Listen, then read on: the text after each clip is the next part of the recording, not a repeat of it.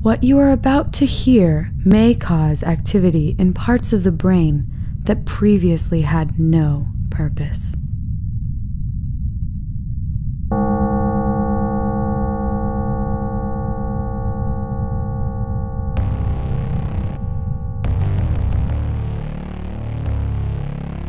Hello and welcome to the Kakos Industries investor announcements.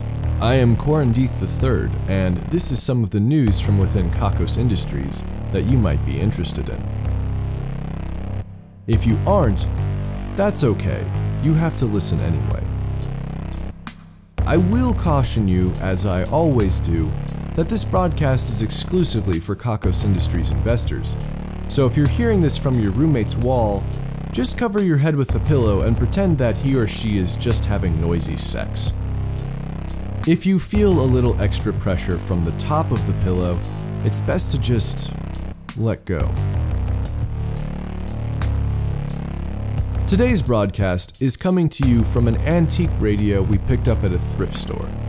You might be wondering how we found so many identical radios at the same thrift store so as to supply you all with one. You might also be wondering if every shareholder received the same radio. All I can say is, it's best not to wonder too much about the other Kakos Industries shareholders. It is strictly forbidden for anyone who is a shareholder to actually meet with anyone else who is also a shareholder, even accidentally. In the event that you do meet another Kakos Industries shareholder that you are not already related to, you will be given the choice to either marry that individual or die, which is actually a plot we stole from an anime. If you feel inclined to make references to pleasing your master during the nuptial ceremony, that would indeed please us here at Kakos Industries very much. This week is a very special week for us here at Kakos Industries. This week marks the yearly Darkest Universe Festival. If you are new to Kakos Industries, then let me tell you that the Darkest Universe Festival is one of our best. We channel the energy of all our employees and investors worldwide in a single choice to make this the darkest universe. Every one of us has choices every day that make the world we live in better or worse. But out of every choice that we make, several alternate universes are created representing those other choices we could have made. After a somewhat bad experience, Kakos Industries has ceased all attempts at making contact with the other universes, and we have instead decided just to make this universe the darkest we can. Over the next week, you will be called upon to focus all of your energy toward the dark. This culminates on Dark Friday, which is the day when the choice becomes permanent. With your help, we know we can do it.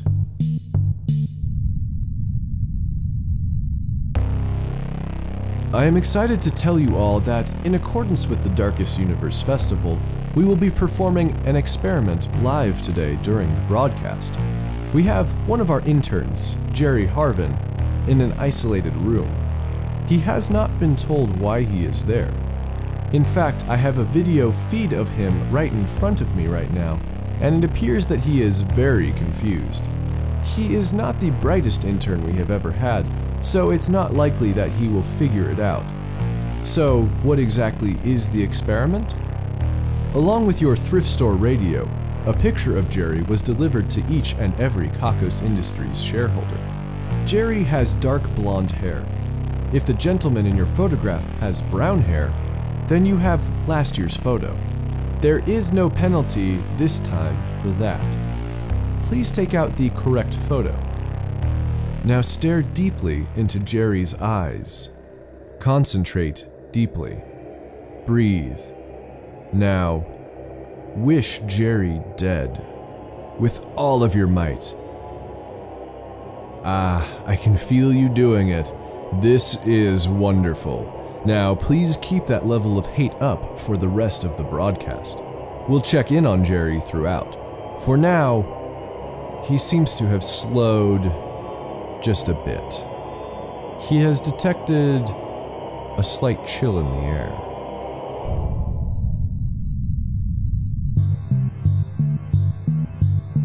This is not the only experiment we do during the Darkest Universe Festival. In order to gather some real quantifiable results, we have to experiment before and after Dark Friday. Currently, we have left a box on the freeway in traffic. The box has been labeled Kittens. We are timing how long it takes before someone, either through sheer hateful intentionality or distracted oblivion, completely crushes the box. I am told the box is still there, so we are not in the darkest universe yet. It is inevitable, though. You might be wondering whether or not there are actually kittens in the box. I will say that it is impossible to tell at this time if there are kittens in the box, and subsequently, if said kittens are living or dead, without interfering with the results of the experiment.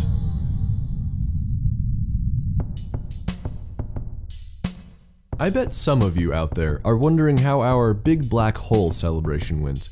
It felt wonderful to join hands with so many people as we stood around the Big Black Hole and prepared to drop the recently de-extinct and soon to be re-extinct Aurochs into it. We began to hum, and an energy moved through the crowd.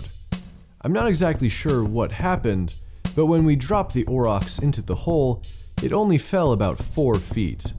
It seems that the bottom of the hole is as black as ever, but it has moved to just barely below the surface of the Earth. This is troubling because we still had a researcher in the hole studying it, and the rope he was attached to is now firmly planted in the bottom of the hole. No word on where he is at this time. The Aurochs was startled but relieved. Due to the shallow nature of the hole, we were forced to let the Aurochs be buried alive next to the hole. Not quite as exciting, I know, but at least we got rid of that eerie menace. Hopefully, the next Aurochs will creep us out less. And then someday, we'll have a fucking Tyrannosaur. A quick update on Jerry. He is not sitting down. His skin is clammy. He is rubbing his arms as though he might be cold. I don't know if any of you out there have ever worked together to wish someone dead before, but this is an important moment. We can't ease up. Please keep your hate flowing. Here's some help. Jerry cheated on his girlfriend, who is in a wheelchair. We'll make that true.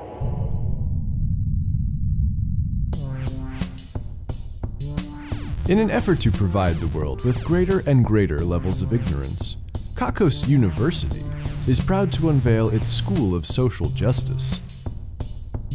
Have you ever found yourself arguing with someone with whom you mostly agree, but their method of argumentation is truly repugnant to you? This is something we're hoping to take credit for in the future. At Kakos University, students from all backgrounds and all walks of life will be welcomed into a program promising to help them change the world in which they live. Once inside the program, our talented instructors will begin to teach the students the ideas and beliefs that will truly bring society forward. But in addition, the students will also be taught to disregard any and all traditional means of argument, relying instead on ad hominem attacks and many other fallacies. The students at the Kakos University School of Social Justice will no doubt be on the right side of history but it will be questionable whether or not they are fighting for or against their comrades. For every misspelled, logically inconsistent infographic that circulates social media, you'll be able to thank us. For every article about the various feminist failings of a pop idol in an effort to keep their website high in search results, you'll be able to thank us. For every shrieking, incoherent rant tearing you down for not agreeing with them the right way, you'll be able to thank us. And for every success for which they claim credit in bringing about, you'll be able to thank us as well. Kakos Industries has no qualms with where the world is going. Indeed, it is our business to meet the world right where it is. And before you needlessly attack our organization for being patriarchal, Please note that the majority of our executive board is genderless GMO exectopie in a sex pile. They are a special, genetically modified species of octopus that is excellent at making executive decisions. Keeping with the tradition of the School of Social Justice, our Division of Hate has developed a new double standard. From this time on, a woman who rides a unicycle will be a harlot. You're welcome. We have news from Denny. Apparently, Denny made a new friend since we last spoke of him or her. I will not say whether the new friend is a close one or an acquaintance, and I can also neither confirm nor deny that the new friend was someone from Denny's past. Pretty much, if you've made a friend ever, this could be you. But it isn't. Probably. Some of our shareholders have asked us whether or not we can truly say we have immersed a brain in a digital reality, seeing how we might be in a digital reality now without knowing it. To this we respond, either way, there is a brain in a digital reality. And unfortunately, I must inform you that this world is actually real and your perception of it is more or less accurate. Unless you happen to be Denny. We have news from our Canadian branch. I am told that they have just made the discovery of pushing and shoving on public transport. I must admit, this is a disappointing level of progress, but progress is progress. If I happen to hear, however, that anyone apologized after shoving or being shoved, then punishments will be doled out. Sorry. Let's check in with Jerry. He. I don't know how to tell you this, shareholders. It seems that Jerry is perfectly fine. He appears to be singing, but there is no microphone in the room. This was a security measure because, as much as we love screams, listening to them all day can be desensitizing. I would urge you to focus your hate more intently. If it helps, take out a permanent marker and draw a neckbeard on Jerry. Imagine him writing ignorant YouTube comments. Yes, that is hateful. Let's continue. The Division of Smells has developed a new smell. They say that it is like nothing that anyone has ever smelled before. I am told it actually causes a chemical reaction resulting in new smell receptors just for this smell. The best description they have for it right now is kind of like a sexy death or something. I really don't know how to react to that. I can't wait to try it out, but we are still somewhere in the animal testing phase. Getting qualitative results for this sort of thing can be hard though. Have you ever tried to read facial expressions from a dog? Sometimes they just don't want you to know when you've hurt them. News from the in office relationship. Kara and Billy did not have a date this week. I feel like there's a knot in my stomach. Did I do something wrong? I really feel like the world is upside down right now. I tried not to overdo it, you know? I, I can do that sometimes. I made sure that when I sent them the marriage benefit documents, that I sent them to every employee. This has become quite a headache for me as some of the married people in the office have started to ask why they don't receive the benefits listed on the documents. It's hard to tell them that I don't like them enough, but I do it. As the placard above the monkey statue in my office reads, Hear evil, see evil, do evil, deeth evil.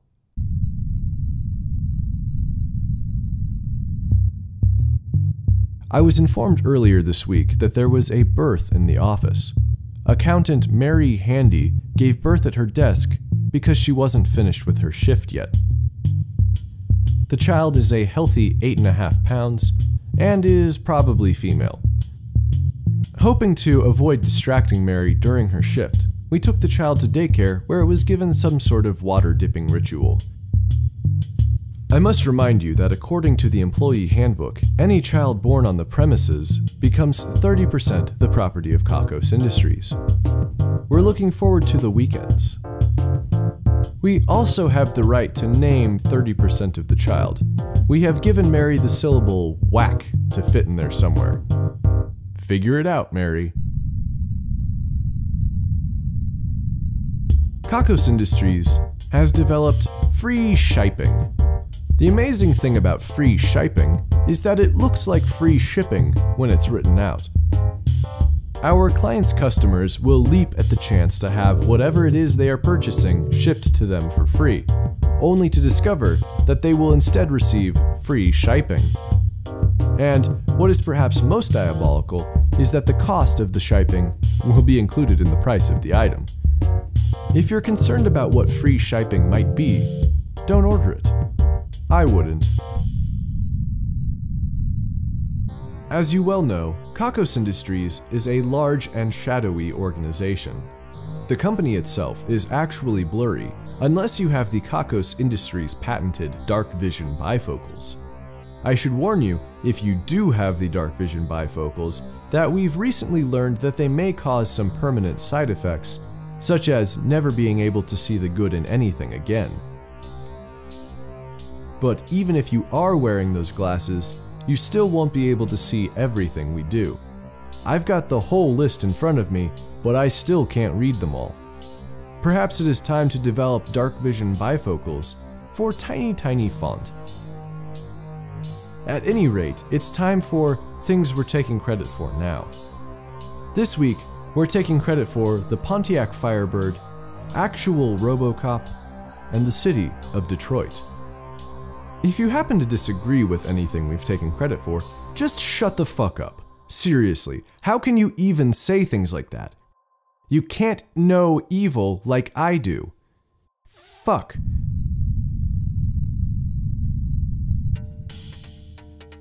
Dana Thurman is the winner of this week's Ruin a Life contest. As a result, the life of her nemesis, Alana Francis, will be ruined. A spin of the Wheel of Misery gives us more attractive.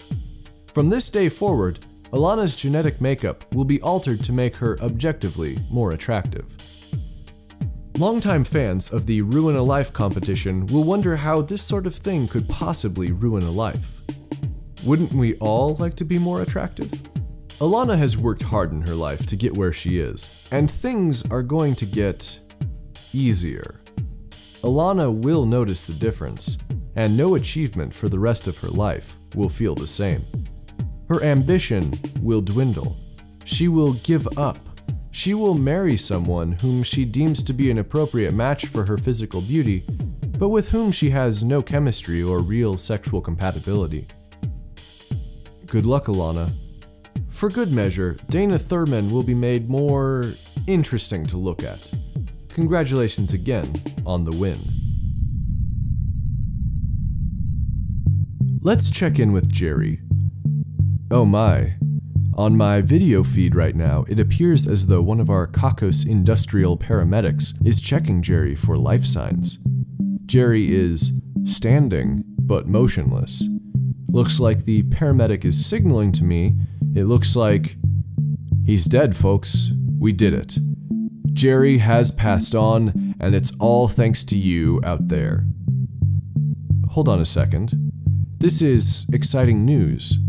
Jerry has toppled over, and it appears as though. It may be too soon to say for certain, but it appears as if Jerry has shattered. Yes, I believe it is so. We turned Jerry to stone. This is a truly exciting development. This is not something we had even previously thought possible. And I just received word that an angry driver just plowed through the box labeled kittens. Things are truly looking up for us here at Kakos Industries. And now we've reached the end of the broadcast. In a moment, we will begin our numbers list, which I assure you is nothing important at all. Certainly not a transmission of intergalactic cryptocurrency to our extraterrestrial operations. Now is the time for you to destroy your thrift store radio. Actually, I'm inclined to let you just keep it. That seems a little bit worse. Maybe. I, I don't know. Destroy it if you feel like it. Maybe, uh, maybe if you don't have a radio right now, then you have to destroy it. But if you've already got one, then I wanted to take up space somewhere, like your attic. 18, 8, 18, 8, 18, 8, 118, 80.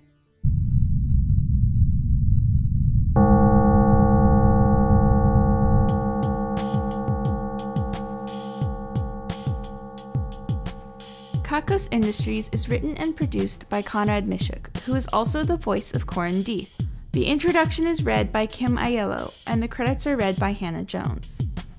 Check out kakosindustries.com for more episodes. There's also transcriptions if you'd rather read the Kakos Industries announcements. That's K A K O S I N D U S T R I E S dot com. If you're feeling down after this broadcast, have you considered scrapbooking about the good days before you heard it?